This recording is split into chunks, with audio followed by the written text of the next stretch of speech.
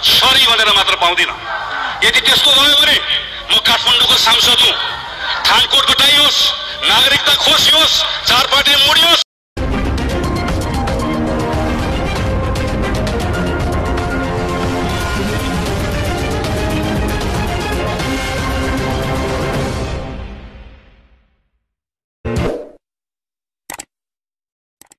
MCC pass गर्ने अर्को काङ्ग्रेसका नेतामाथि खुकुरी प्रहार के छ कस्तो छ त अवस्था सब जानकारी।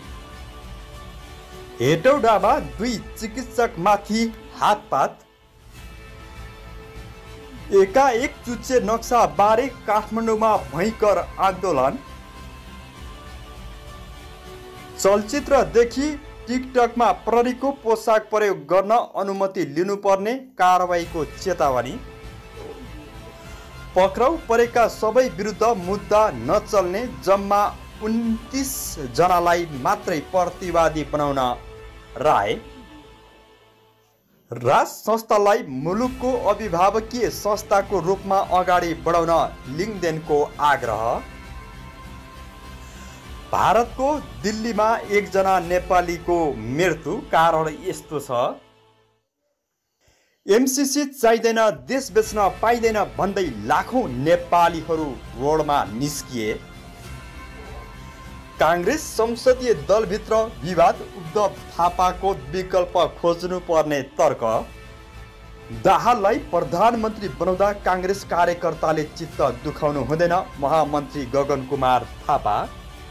र बारे काठमाडौँका मेयर बालेन शाहले पुरै काठमाडौँमा सुरु गरे यस्तो नियम। आजको यो भिडियोमा यो सब अपडेटले हजुरमा आज उपस्थित भइसकेको छु। यो सब जानकारी पाउनको लागि भिडियोलाई सुरुदेखि अन्तिमसम्म फलो गर्नुहोला। केही सुझाव सल्लाह छ भने तल कमेन्ट गर्नुहोला। भिडियोलाई सक्दो सेयर गरी सबै नेपालीसम्म पुर्याउन मद्दत पनि गर्नुहोला। हजुरको एउटा सेयरले गर्दाखेरि धेरै नेपालीलाई केही न केही जानकारी मिल्नेछ। मैले आफूले जानेका बुझेका कुराहरू हजुरहरूलाई बताउने गर्दछु। नयाँ आउनु भएको छ अझै पनि हाम्रो यो नेपाली अनलाइन युट्युब च्यानलसँग जोडिनु भएको छैन भने सब्सक्राइब र साथमा रहेको घन्टीलाई दबाई हामीसँगै जोडिनुहोला। अब ढिला नगरिकन लागौँ आजको विषय वस्तुतिर दर्शकबिन राष्ट्रिय प्रजातन्त्र पार्टी राप्रपाका अध्यक्ष राजेन्द्र प्रसाद लिङ्गदेनले राजा संस्थालाई मुलुकको अभिभावकीय संस्थाको रूपमा स्वीकार गर्न प्रमुख तीन दललाई आग्रह गरेका छन्। ठुला दलहरूले अङ्गीकार गरेको दिल्लीमा भएको बाह्र बुधे सम्झौताको बाटोबाट मुलुक दुर्घटनामा फस्ने निश्चित भएको जिकिर गर्दै उनले अब राज संस्थालाई अभिभावकीय भूमिका दिने गरी अघि बढ्नुपर्ने बताए। बुधबार पार्टीले काठमाडौँमा आयोजना गरेको एक कार्यक्रममा बोल्दै उनले जनताबाट प्रत्यक्ष निर्वाचित प्रधानमन्त्री हुने शासकीय व्यवस्था मुलुकको लागि हितकर हुने पनि दोहोऱ्याए। तपाईँहरूमा रा रतिभर पनि देशप्रति माया छ जनताप्रति माया छ र सुगन्ध सुगन्ध सुध्रन चाहनुहुन्छ भने अहिले पनि समय बितिसकेको छैन।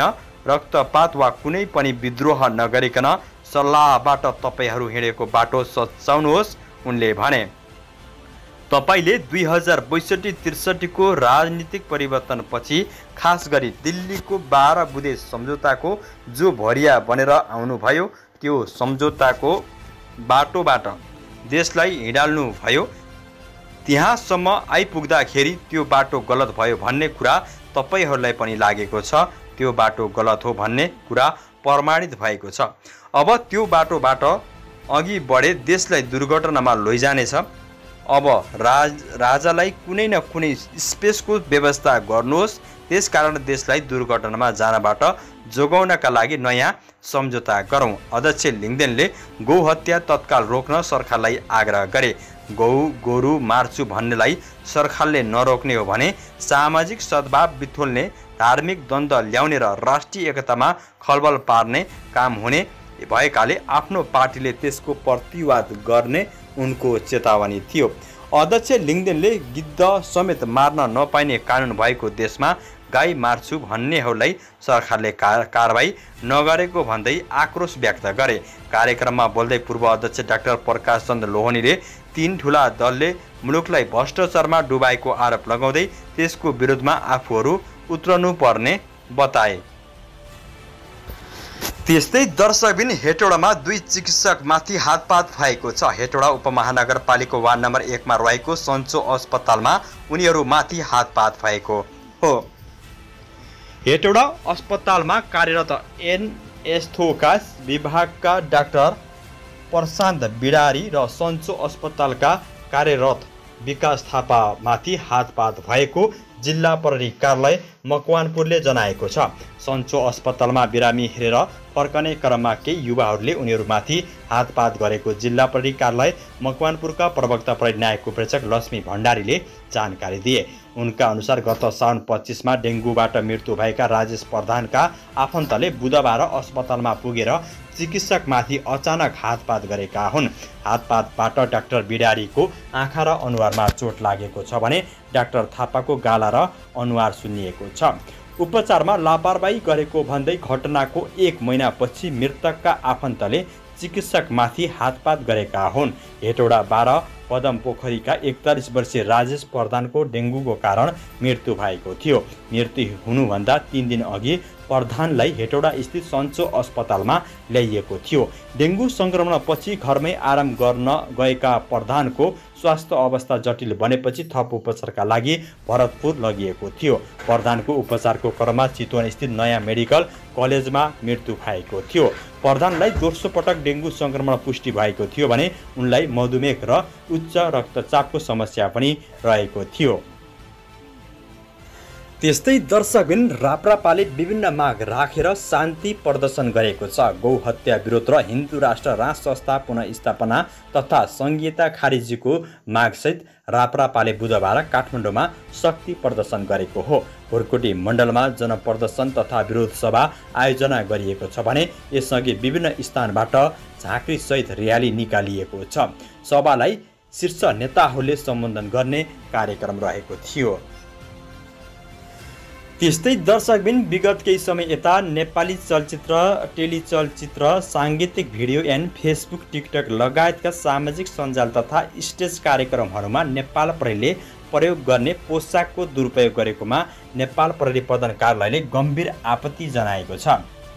प्रहरीको पोसाक लगाएर साङ्गठिक मर्यादा विपरीतका अपशब्द एन्ड संवादलाई प्रस्तुत गरेको र केही व्यक्ति एन्ड समूहबाट प्रहरीले व्यावसायिक रूपमा सम्पादन गरेको कार्यलाई अप्याख्या गर्ने एन्ड प्रहरी कर्मचारीका निर्देश पारिवारिक सदस्यहरू समेतको सुरक्षा चुनौती दिने किसिमका असामाजिक एन्ड अराजक प्रकृतिका अभिव्यक्तिहरू आएको कार्यालयले जनाएको छ।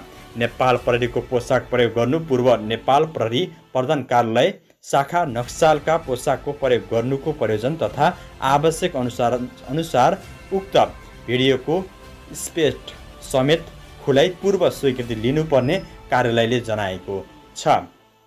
त्यस्तै नेपाल प्रहरी प्रधान कार्यालय शाखाको पूर्व स्वीकृति नलिई वा स्वीकृति प्रयोजन तथा स्पेट अनुसार बाहेक अन्य कुनै पनि प्रयोजनका लागि नेपाल प्रहरीले प्रयोग गर्ने पोसाक र पोसाकमा प्रयोग हुने दर दर्योनी चिन्ह तथा प्रहरीको मोनोग्राम प्रयोग नगर्न आग्रह गरिएको छ। यस किसिमका कुनै पनि कार्य भए गरेको पाइएमा प्रचलित कानुन बमोजिम कारवाही हुने चेतावनी समेत दिएको छ। त्यस्तै दर्शकबिन बैतडीका सुरेन्द्र साउदको भारतमा मृत्यु भएको छ। रोजगारीको सिलसिलामा भारत दिल्लीमा रहेका बैतडीको शिवनाथ गाउँपालिका एक कुण्ड घर भएका अन्दाजी अठाइस वर्षीय सुरेन्द्र साउदको मङ्गलबार निधन भएको उनका आफन्त सम आफन्त समेत रहेका नेपाली काङ्ग्रेस बैतडीका सहसचिव दशरथ चाडले जानकारी दिनुभयो। गएको चार पाँच वर्षदेखि रोजगारीका लागि दिल्लीमा रहेका साउदको हृदयघातका कारण निधन भएको चाडले बताए। परिवारसहित दिल्लीमा बस्दै आएका साउदको मृत्यु भएपछि परिवारको बिचल्ली भएको छ। मङ्गलबार एक्कासी ढलेका साउदलाई अस्पताल पुर्याउँदा चिकित्सकले मृतक घोषणा गरेका थिए। मृतक साउदका एक छोरी र एक श्रीमती रहेका छन्। उनीहरू पनि दिल्लीमै रहेका छन्।